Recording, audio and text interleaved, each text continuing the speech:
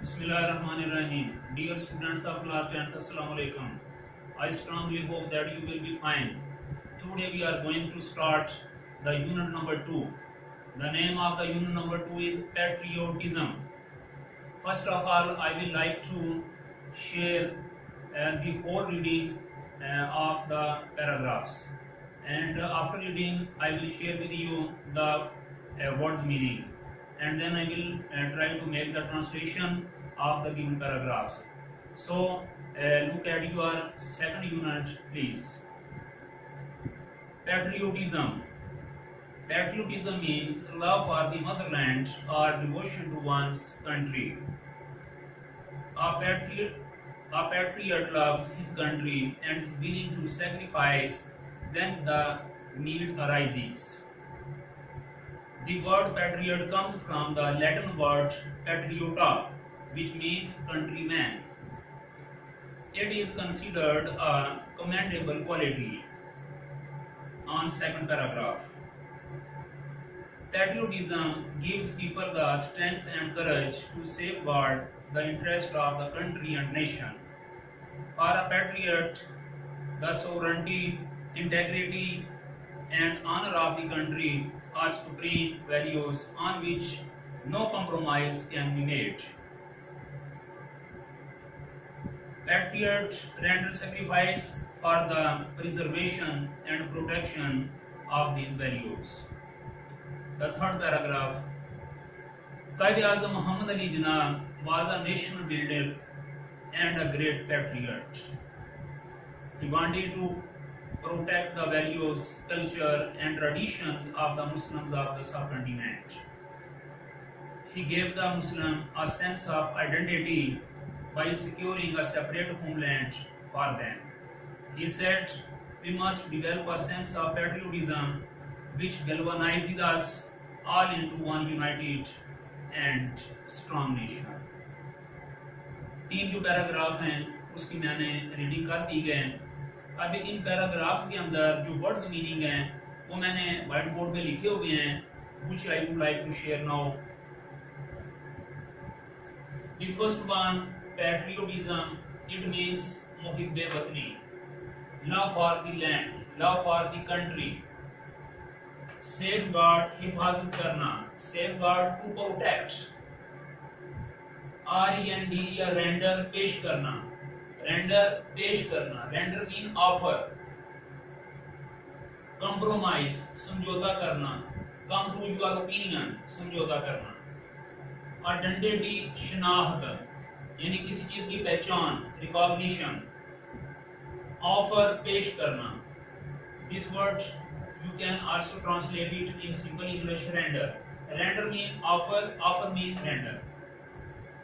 The next word galvanize मुकर करना enforce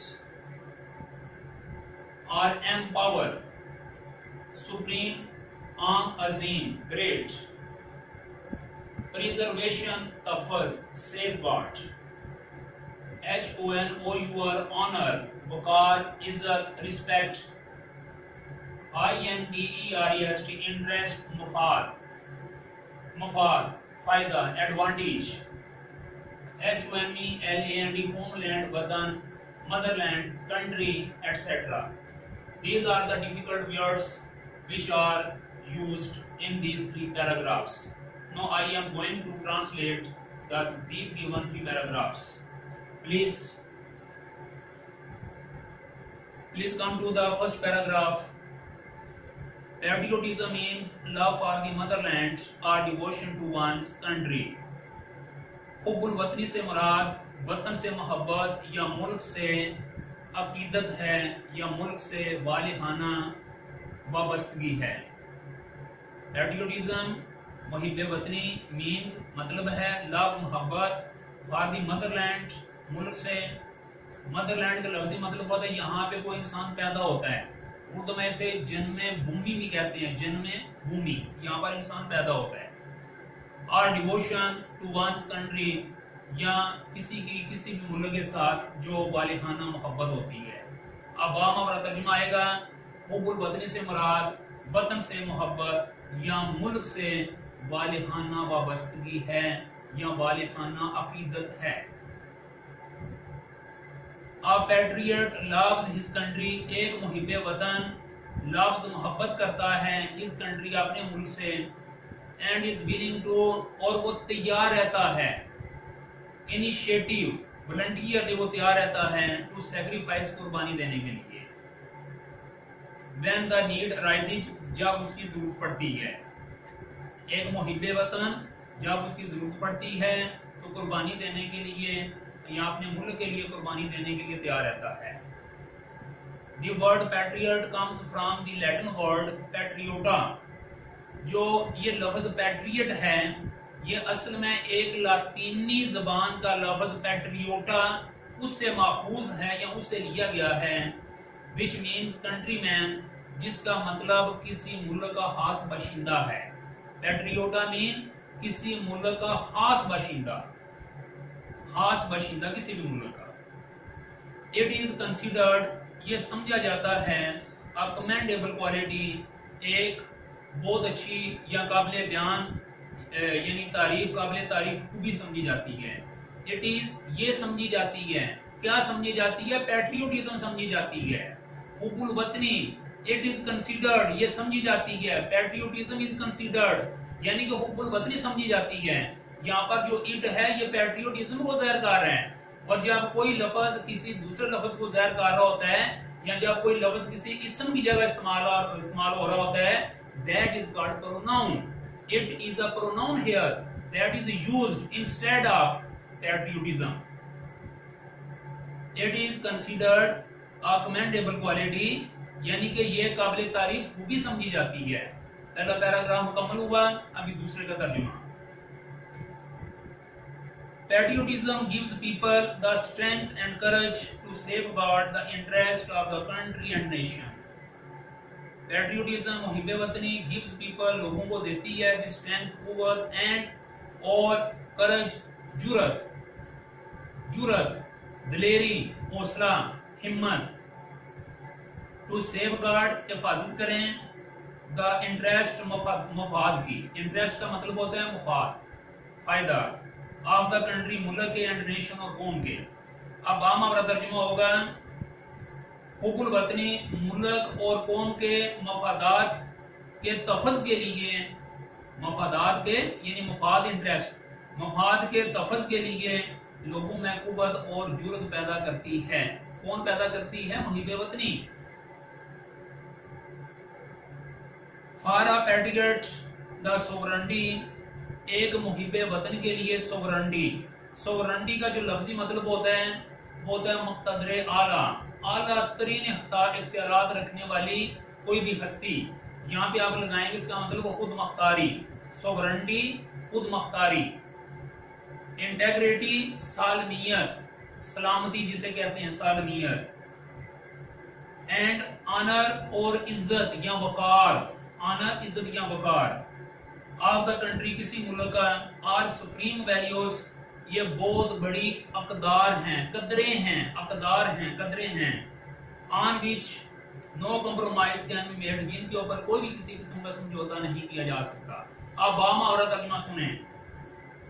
अब इसका तर्जमा बनेगा एक मुहिब वतन के नज़दीक मुल्क की खुद मख्तारी, सालमियत और वकार आला अकदार हैं जिन पर कोई भी समझौता नहीं किया जा सकता।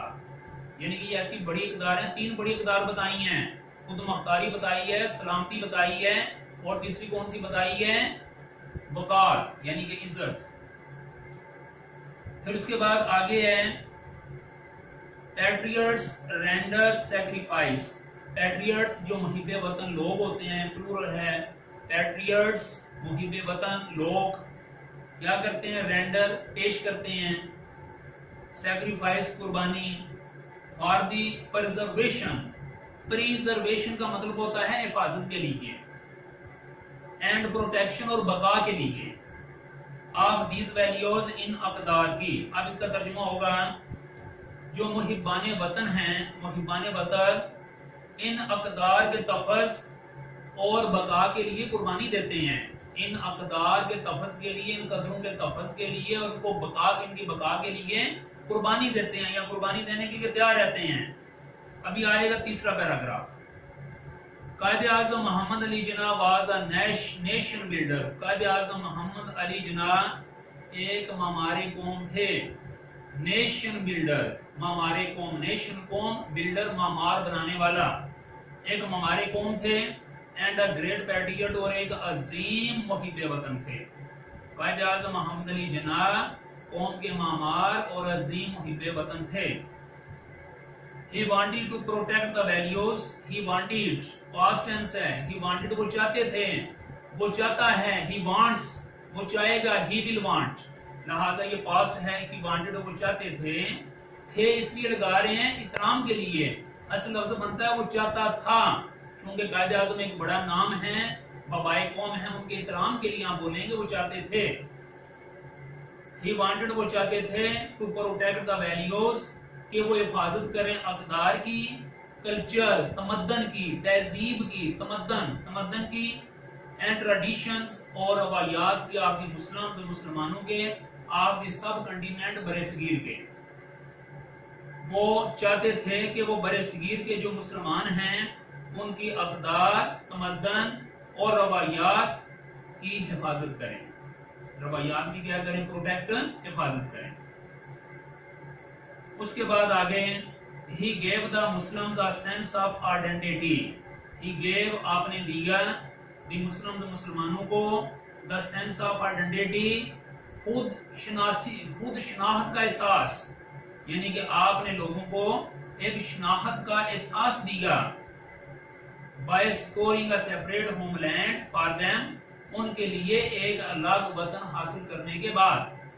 अब हम और आप तर्जुमा इसका ये करेंगे, आपने मुसलमानों के लिए अलादा वतन हासिल करके उन्हें शनाहत का एहसास दिया। सेंस ऑफ़ आइडेंटिटी शनाहत का एहसास दिया। ही सेड आपने फरमाया ही किसको ज़ाहिर कर रहा है? कायद आज़म रहमतुल्लाह को। तो ही यहाँ पर फिर क्या है? पार्ट ऑफ़ स्पीच में ये प्रोनाउन है।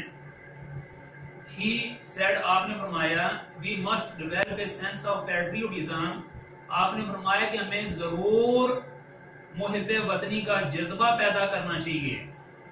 हमें ज़रूर मुहिब वतनी का एहसास पैदा करना चाहिए विच गैल्वानाइजिस जो के मज़बूत करता है, जो कि जोड़ता है। यानी कि देखिए ना, मैंने आगे जैसे ये बोला गैल्वानाइज का मतलब होता है मुतहरक करना, जोड़ना एक्टिवेट करना एनफोर्स करना एम्पावर करना, तहरीक देना। वगैरह वगैरह। We must develop a sense of patriotism हमें एक मुहिब वतनी का जो एहसास है, उसको पैदा करना चाहिए। विच गैल्वानाइजिस जो कि मुतहरक करता है अस हमें ऑल इनटू वन यूनाइटेड एक मुतहिद एंड स्ट्रॉन्ग नेशन और मज़बूत कौम की शक्ल में। अब इस सारे का तर्जुमा होगा कि आपने फरमाया, हमें खूबुल बदनी का एहसास पैदा करना चाहिए। जो हम सबको एक मुतहिद और मज़बूत कौम की शक्ल में यकजा कर दे इकट्ठा कर दे मुतहरक कर दे तो ये बच्चों यूनिट नंबर टू थी पेट्रियोटिज्म उसके तीन पैराग्राफ मैंने ट्रांसलेशन आपको पढ़ाई है। आपने अच्छे अंदाज में इनकी ट्रांसलेशन और वर्ड्स मीनिंग और रीडिंग ये तीन चीज़ें तैयार करनी है। मुझे उम्मीद है, इंशाल्लाह आप इसको अच्छे तरीके से तैयार करेंगे। थैंक यू वेरी मच अल्लाह हाफिज़।